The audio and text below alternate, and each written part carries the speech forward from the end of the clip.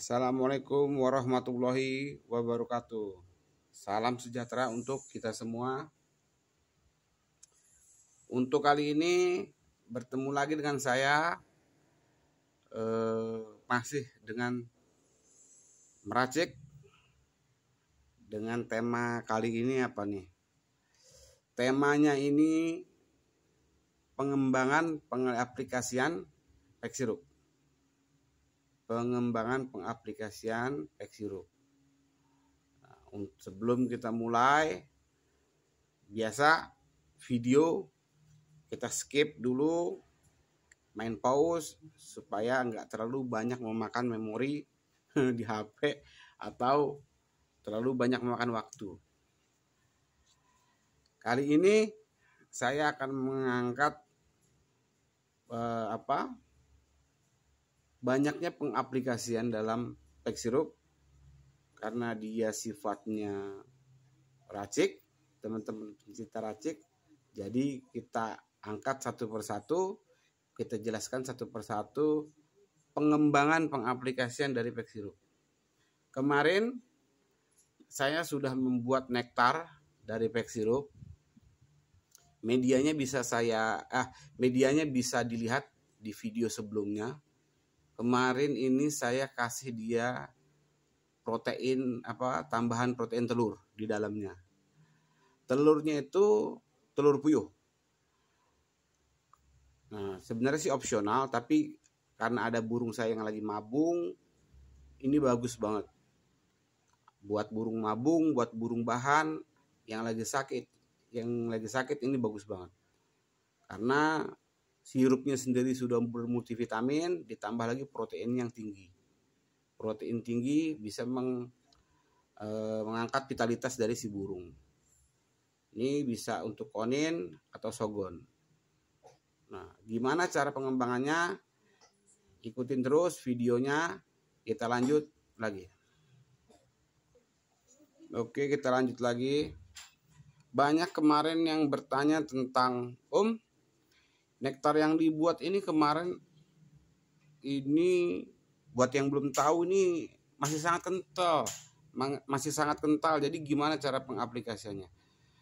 Biasanya saya pengaplikasian ini saya encerkan langsung ke dalam cepuk. Jadi ketika nektar ini sudah kental kita masukin ke dalam cepuk lalu biasanya saya encerin pakai air putih dia ngencerinnya itu nggak terlalu banyak om. Ngencerinnya itu sedikit aja jadi nggak terlalu banyak. Biar kandungan nutrisinya gampang diserap oleh tubuh si burung. Karena eh, apa teksturnya yang nggak terlalu kental jadi gampang banget diserap untuk pencernaannya. Untuk pengaplikasiannya seperti apa? Oke kita lanjut videonya ini saya punya wadah kosong yang udah saya cuci bersih. Biasanya saya kasih dia pack sirup sebagai media pengencer. Ini untuk burung-burung bahan, untuk burung-burung yang lagi mau naik birahi, bagus banget. Takarannya gimana om? Takarannya itu sesuai hati aja deh. Nih, kalau saya bilang ini segini eh, sekitar 5, 6, 7 sendok makan. Sekitar itu. 5, 6 atau 7 sendok makan. Ini pek sirup murni. Saya sebutnya pek sirup murni yang akan saya larutkan ke dalam air. Ya. Ini nanti saya larut ini air biasa, air murni biasa. Ini akan saya larutkan ke air. Nah, kalau ini nanti saya akan mengaplikasiin ke doping ini nanti. Jadi banyak pertanyaan, Om cara membuat nektar yang tinggi gimana? Uh, saya nggak pernah mencampurkan hormon ke dalam sini. Takut merusak kandungan dari si nektarnya. Sayang-sayang Om, udah kita beli SKM-nya, udah kita beli telurnya, rusak gara-gara kandungan hormon berminyak yang ada di dalamnya. Lebih baik kandungan hormonnya itu kita kasih terpisah itu lebih baik kita kasih terpisah. Ini nektar ini hormonnya. Lebih baik seperti itu. Itu cara amannya. Kebanding kita harus mencampur nektar ini dalam keadaan berminyak. Walaupun walaupun minyak ikan. Karena saya pernah ngalamin ada kandungan minyak ikan dalamnya dia menggumpal tidak bisa dicerna oleh pencernaan banyak sekali kasus-kasus ederma. Jadi seperti ada benjolan di dalam uh, tubuh uh, di dalam dubur itu si burung atau dia susah BAB itu sering banget saya nemuin. Karena tingkat kekentalannya udah tinggi ditambah lagi zat-zat lain yang nggak nggak nggak mudah dicerna. Lebih baik mau minyak ikan mau apa pun lebih baik ditaruhnya terpisah.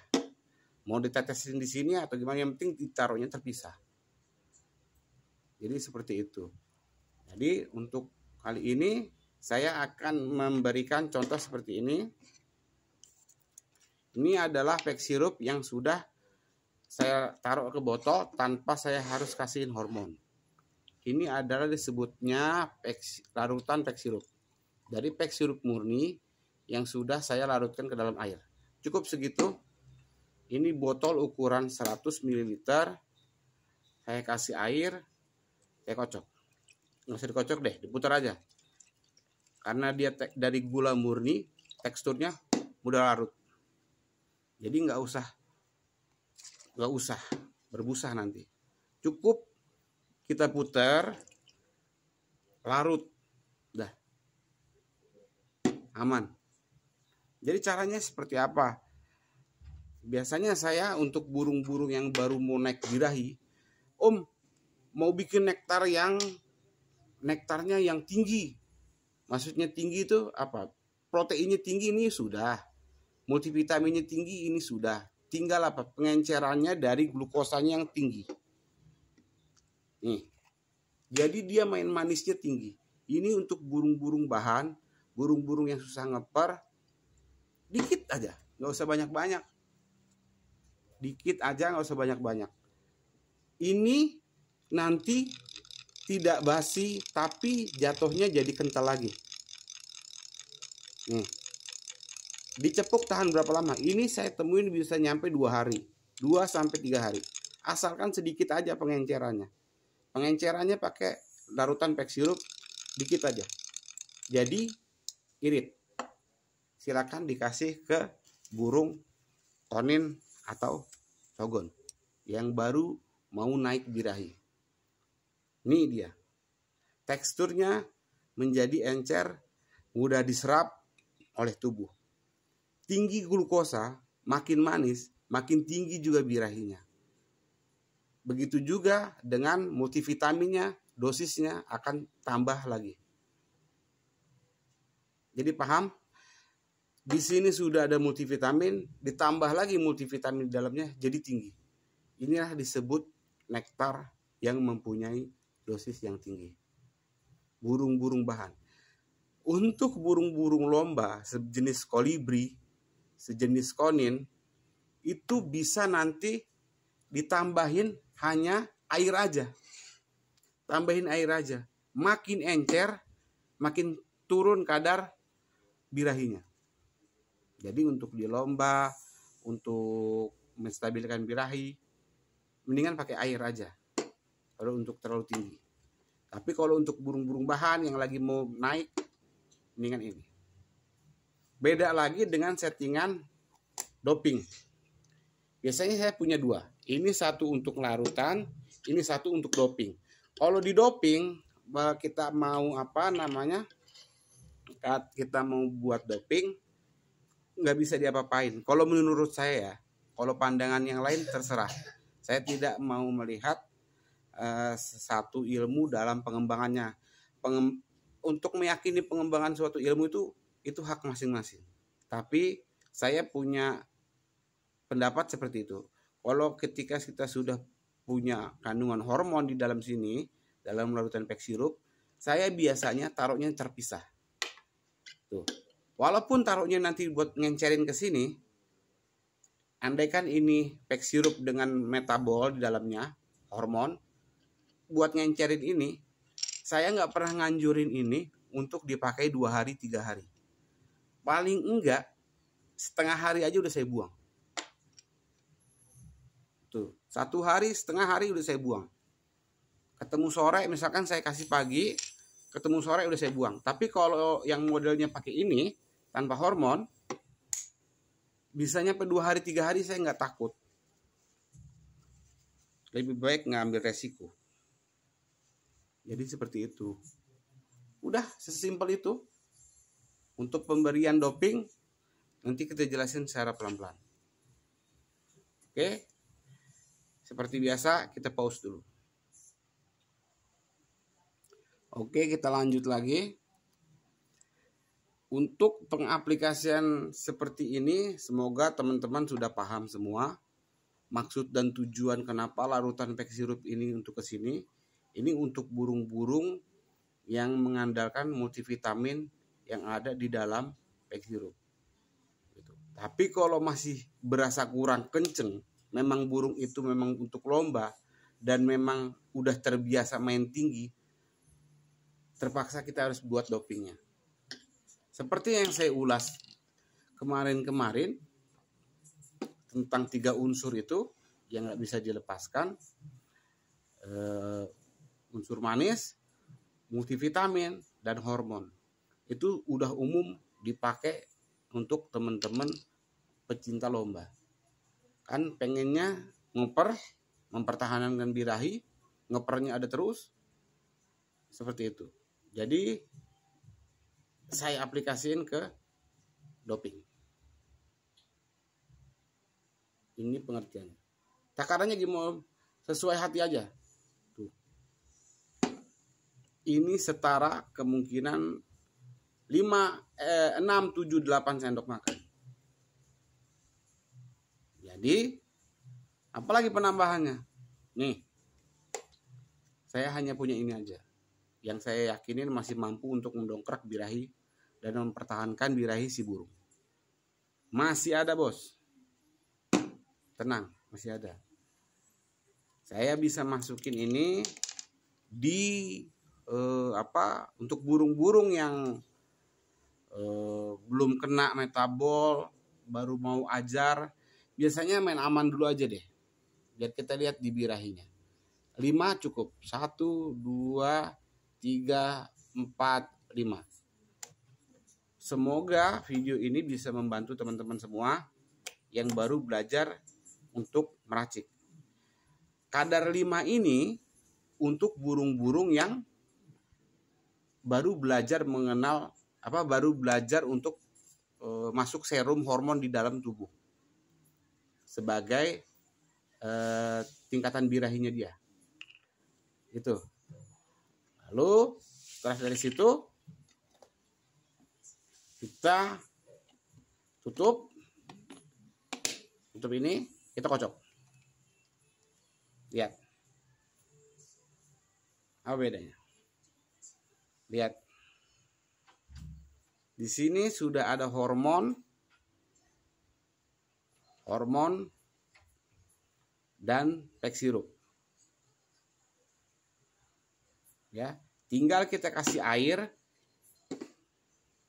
kita kasih habis jemur. Ini biasanya saya bawa ke lapangan.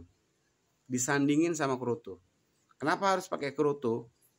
Karena kandungan proteinnya di dalam kerutu itu bisa memacu hormon semakin maksimal. Jadi kalau tidak ada lemak yang dibakar, protein yang di, yang dibakar dari hormon nggak akan ngefek bos. Gitu. Begitu juga, makanya saya bilang kan Eh, lebih baik begini ketemu begini lebih efektif pan mana ini ketemu ini atau enggak ini ketemu kerutu lebih efektifan ini ketemu kerutu kalau saya bilang tapi bukan berarti nggak bisa ya. Maksudnya gini. Ini doping cepuk ini kerutu. Untuk burung-burung yang sudah mau makan kerutu. Itu lebih cepat naik birahinya. Kebanding nektar ketemu hormon. Campurin ke hormon. Bisa sih cuman nggak semaksimal itu. Atau enggak ini nektar ini hormon. Ini doping ini nektar jadi nggak pakai kerutu Bisa nggak kira-kira? Bisa, cuman nggak terlalu maksimal. Seperti yang ototnya ngeper-ngeper gitu, kurang maksimal.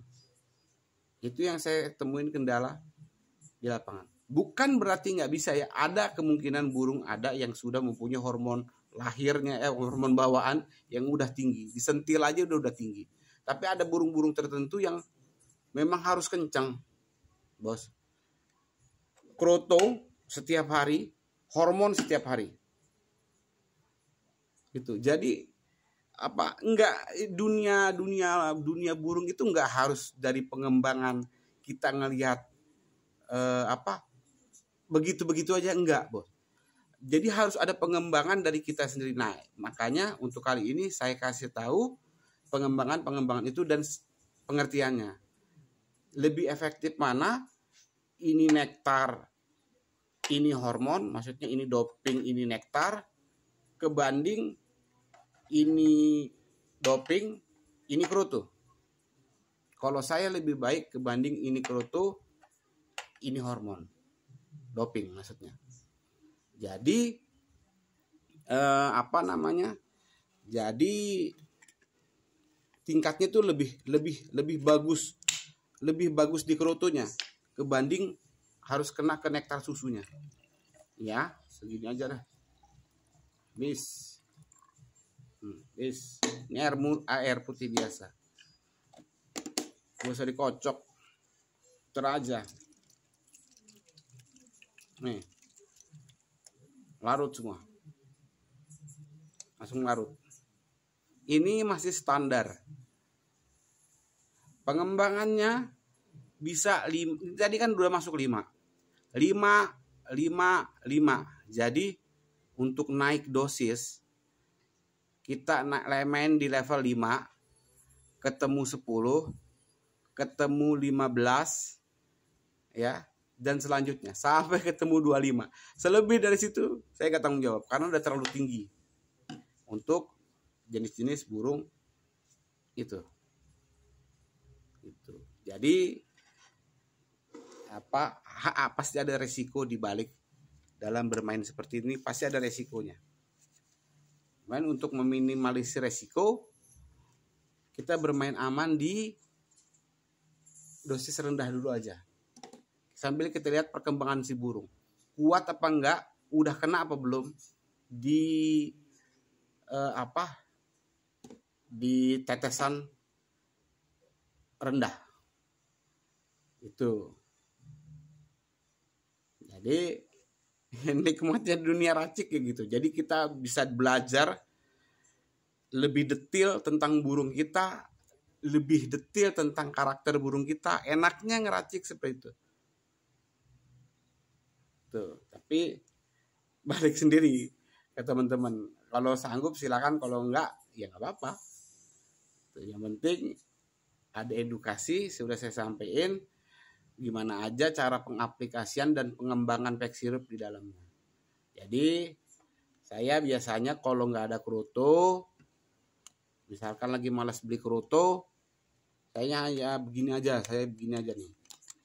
Malas beli keruto atau apa, begini aja. Tuh.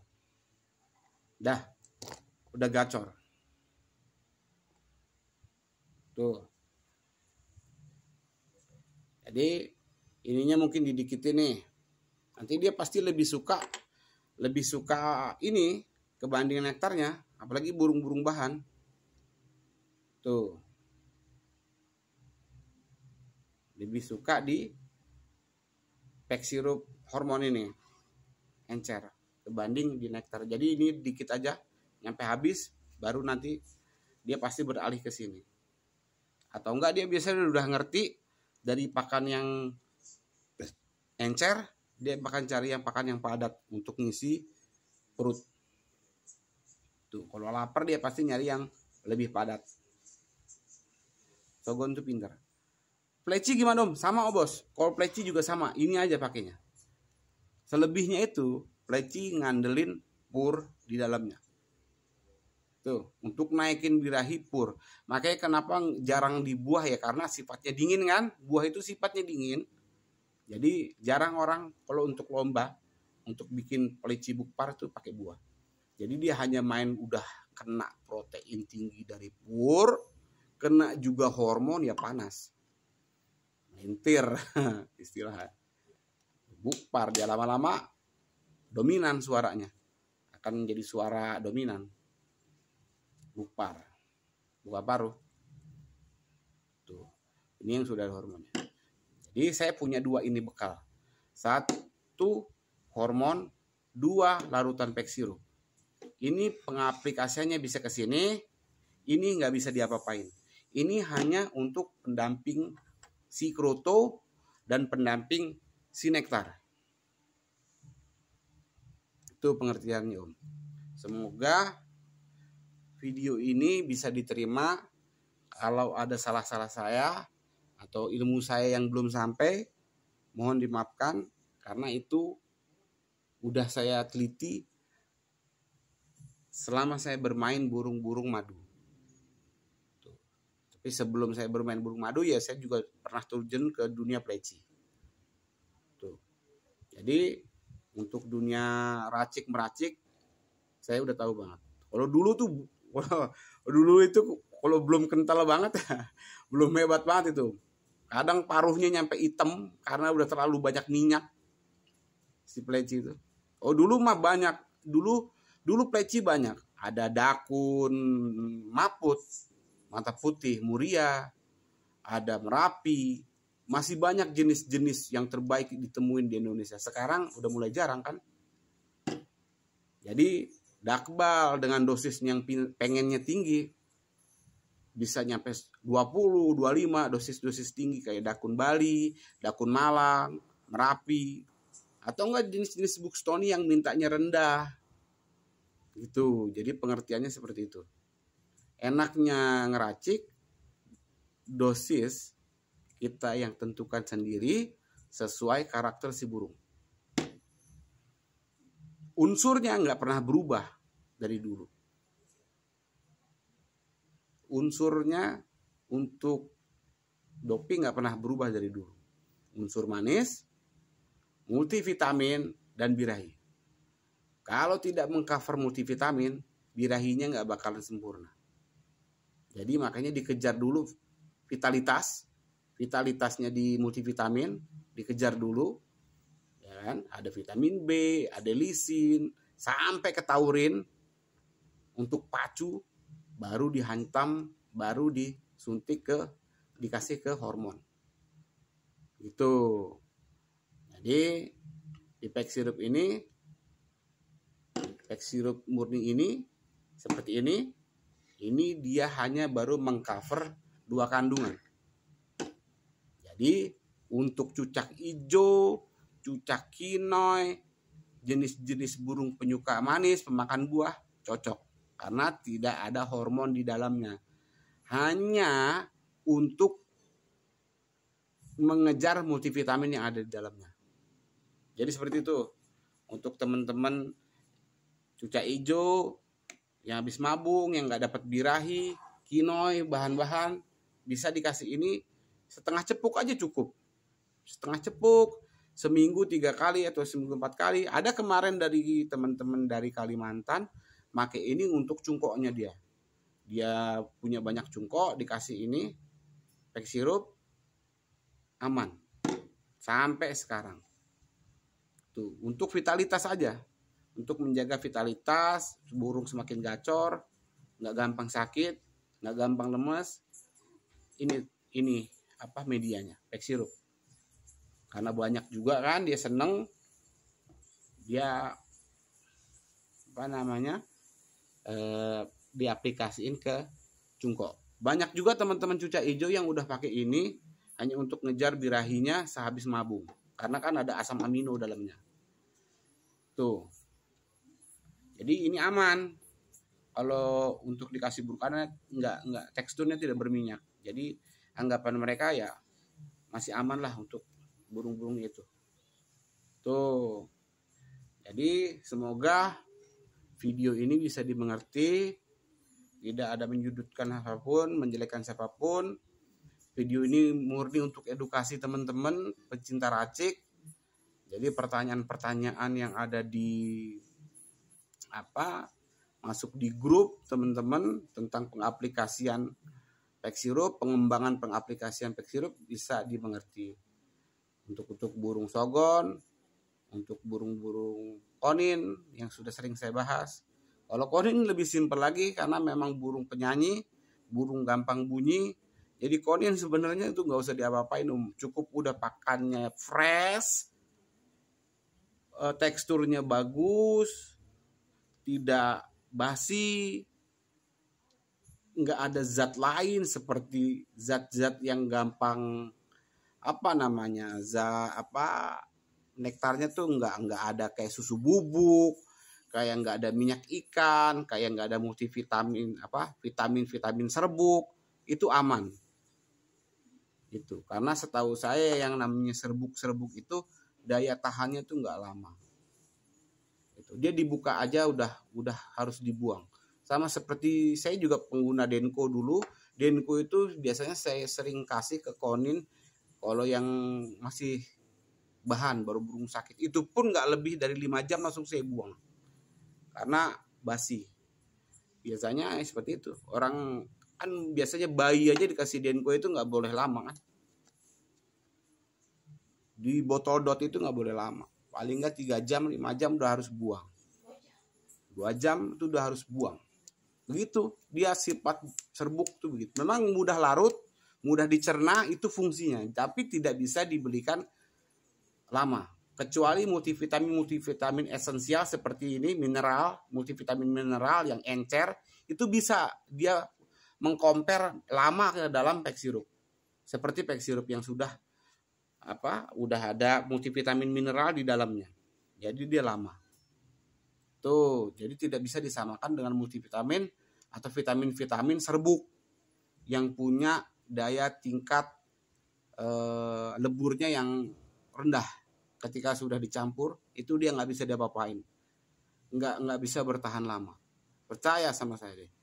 Karena saya sendiri juga udah di peternakan ayam itu nggak bisa lama-lama vitamin itu ketika udah kerendam air kena tangan aja tuh udah nggak bisa lama-lama dibuka aja bungkusnya langsung ngegumpal dia nggak bisa lama-lama. Keunggulannya cuma satu. Dia gampang dicerna dan diserap oleh tubuh si hewan.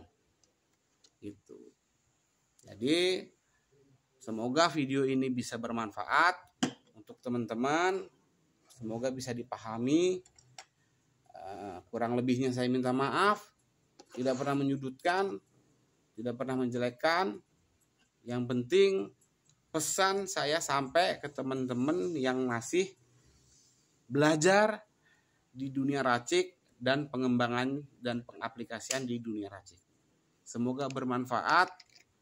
Eh, mungkinan ini ilmu saya bisa apa dibagi-bagi ke teman-teman, di-share-share ke teman-teman. Semoga bisa membantu teman-teman yang belum mengerti banyak tentang dunia racik. Terima kasih udah mau menyaksikan video panjangnya. Mohon maaf. Assalamualaikum warahmatullahi wabarakatuh. Pek sirup izin pamit bos. Matur suwun.